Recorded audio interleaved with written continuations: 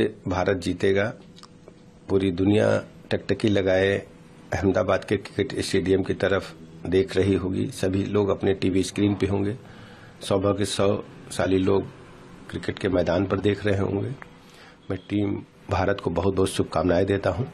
और जिस ढंग से भारत ने अभी तक विजयश्री हासिल की है, फाइनल में भी भारत ही जीतेगा। आज इतिहास अपने आप को दोहराने वाला है। हमारे 11 जांबाज खिलाड़ी 10 मैच मुतवातिर जीत चुके हैं।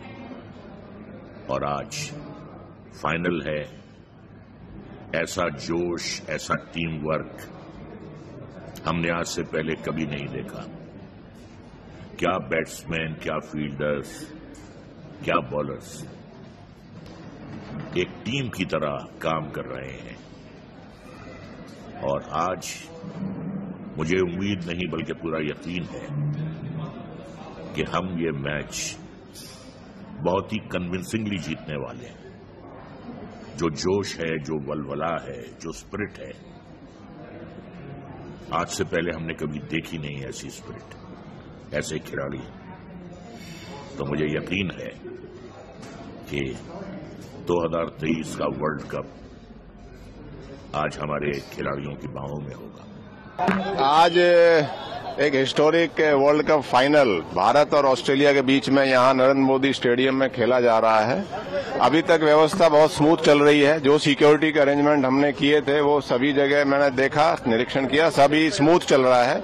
थोड़ा ट्रैफ़िक का माइनर सा थोड़ा देखा कि भीड़ काफ़ी है। गेट नंबर एक और दो पे भी अच्छी भीड़ है। लेकिन सब स्मूथ चल रहा है मतलब उनका कोई भी इशू, ऐसा कोई ट्रैफ़िक का इशू, ऐसा कोई वो नहीं आ रहा। खाली ट्रैफ़िक स्लो है मतलब क्योंकि भीड़ काफ़ी है। बाकी अभी सिक्योरिटी अरेंजमेंट भी सब पूरे हैं। नहीं बस आप स्पोर्ट्समैन स्पिरिट की तरफ़ से तरह से इस गेम को देखिए और एंजॉय करिए। नहीं नहीं माननीय प्रधानमंत्री जी वो उनका प्रोग्राम आ चुका है वो शाम को आएँगे तो उनकी भी पूरा सिक्योरिटी अरेंजमेंट हमने अच्छा कर लिया है। उनका शाम का है अभी वो स्पेसिफिक डिटेल्स तो नहीं आई हैं लेकिन इवनिंग का प्रोग्राम है उनका। फाइनल मैच वर्ल्ड कप आएगा।